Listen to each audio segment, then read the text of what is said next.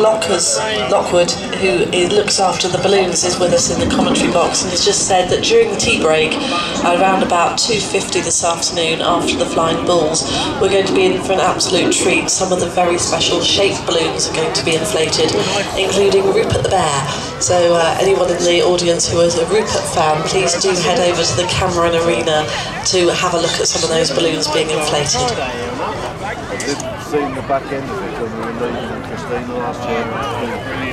We were about half past 11 leaving there last last year.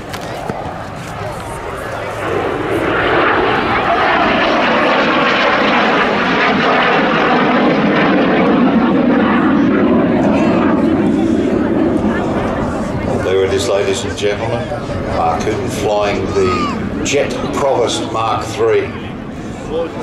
Over 741 Provosts of all the different marks have been produced, and uh, they were developed by hunting Percival from the Percival Provost. Another uh, another training aircraft, very very small, the original ones, but were characterised by an unbelievably tall undercarriage.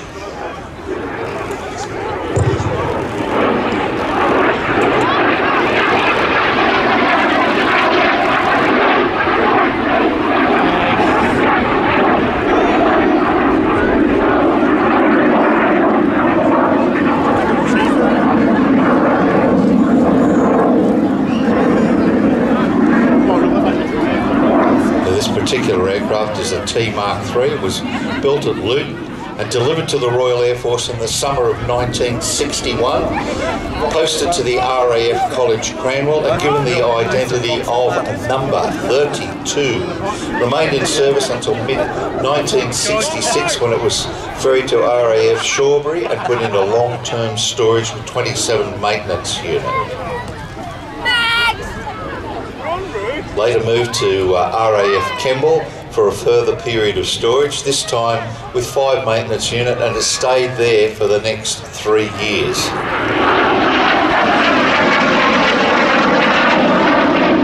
The T3 was a much improved version of the earlier Provosts. It had a strengthened undercarriage, more powerful engine, ejection seats, and other airframe refinements. Eventually, 201 of these uh, Mark 3s were produced.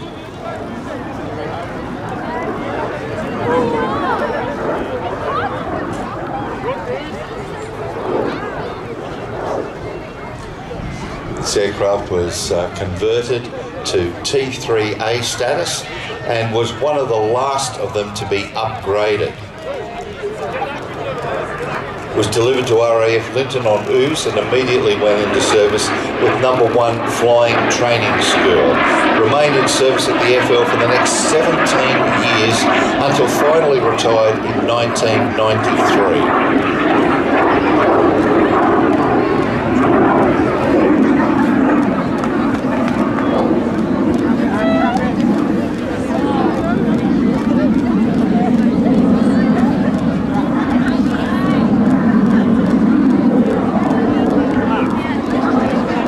Machine uh, was withdrawn from service and acquired by the Newcastle Jet Provost Company, a consortium made up of several private pilots. And uh, it's had a lot of different upgrades uh, to its radio gear, etc., over the years. And it is still in the same ownership. It's one of the lowest powered jet provosts in existence. So uh, that is going to ensure that we'll be seeing this aircraft flying for many, many years to come. Obviously, there were further modification and refinements of the type with increased power and uh, larger cockpit, refined aerodynamics as well. They produced the T5, the T5A, and there were other export versions that were uh, sent to Ceylon, Sudan, Kuwait, Iraq, and uh, also Venezuela.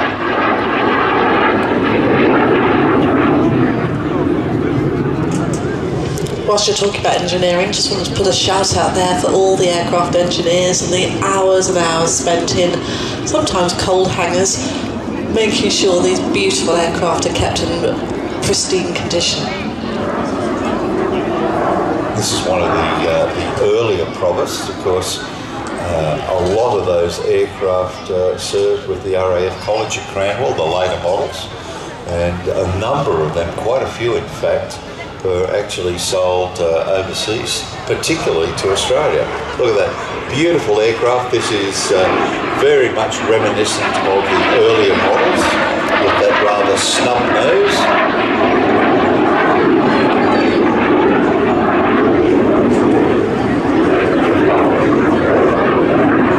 the later models much more streamlined nose, quite a much larger canopy, improved ejection seats, because this was the first model that uh, was actually fitted with the ejection seat.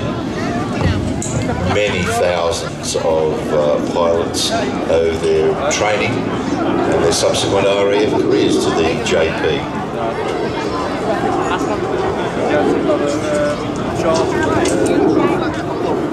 Oh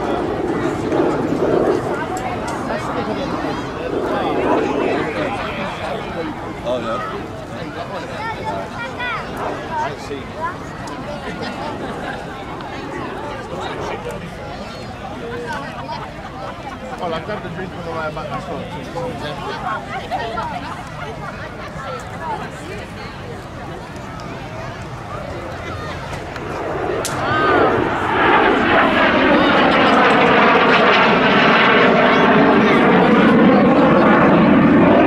very, very familiar shape in the, uh, in the skies around the UK for many years. Of course, the uh, Provost developed into the Strike Master, aka the Blunty in New Zealand.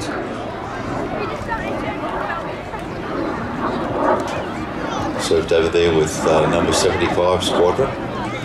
And of course, also uh, was a great export for uh, the British aircraft industry. So last opportunity for some photographs as the aircraft makes one of its final display passes.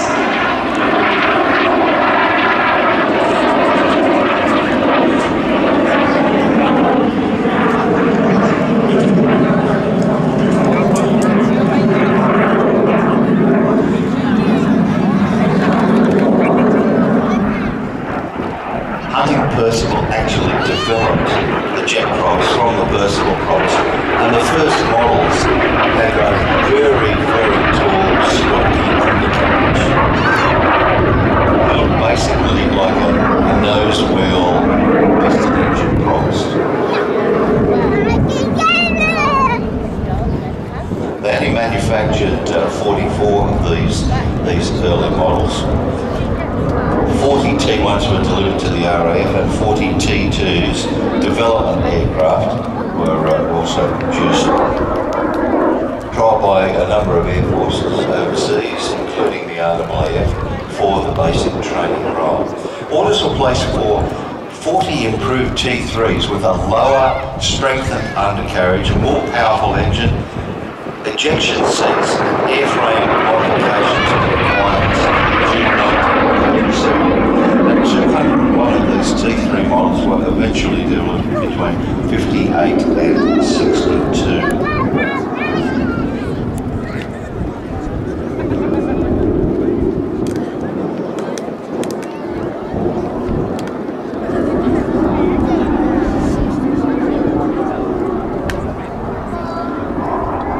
This particular aircraft being displayed today by John Hooton is a Provost T3. It was built at Luton and delivered to the RAF in the summer of 1961.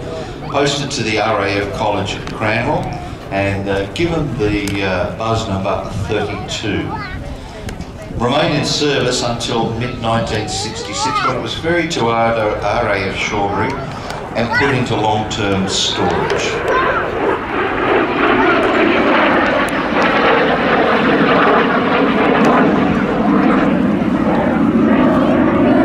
was later moved to RAF Kemble and after a further period of storage it remained for three years. February 1976 was ferried to Warton Airfield in Lancashire for conversion to T3A status and was one of the last aircraft to be upgraded. Test flown in April 76 and just three days later the aircraft was delivered to RAF Linton on Ouse and immediately went into service with number one flying training school.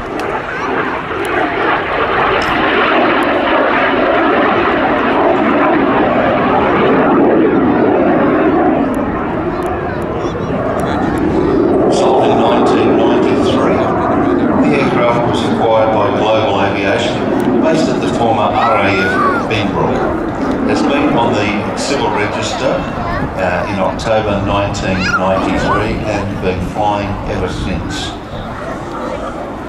Because the T3 wasn't the last of the uh, Provosts that were manufactured, built right up to the T5 and later T5A, that had pressurised uh, versions. That's what uh, the market responded to. So Provost, the T51 and T55 were exported to Ceylon, Sudan, Kuwait, Iraq and Venezuela.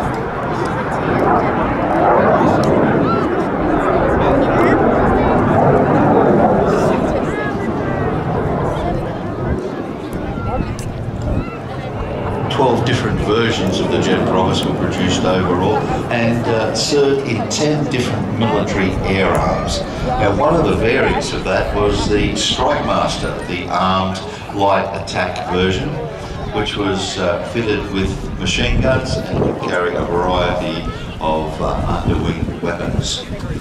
So they were operated again uh, throughout the Middle East and also by the Royal New Zealand Air Force. Coming in now from the left.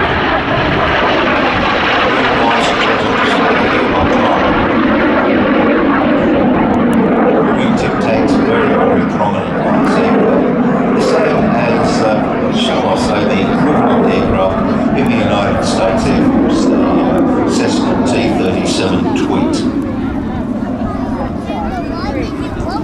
despite its diminutive size. Pretty much the same as the Jet Provost, that was considered to be the noisiest aircraft in the US Air Force inventory. But very, very similar uh, thought processes between both services, coming up with an aircraft that was very simple to operate, very robust, very easy to maintain as well.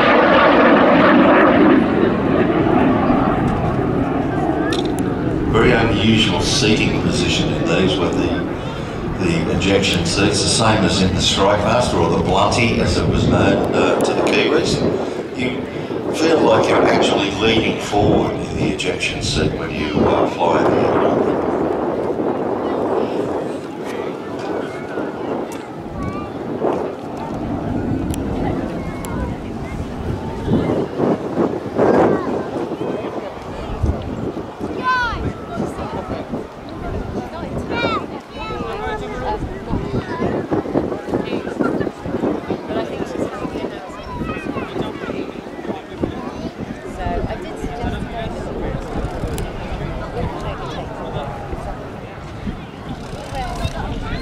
3 is powered by a Rolls-Royce Viper Mark 102. Yeah. Aircraft has a maximum speed of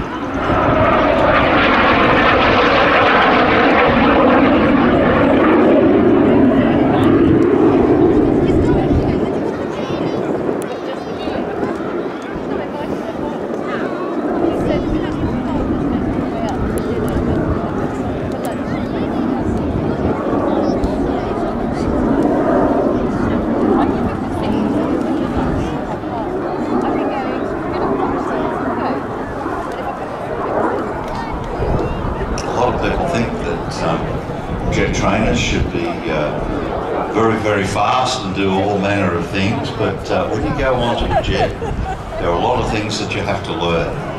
And a lot of air forces are still using the transition from smaller piston engine aircraft into the first generation jets. Um, a lot jumped through that hoop as well for aircraft such as the PC-9 or the Tucano or the PC-21.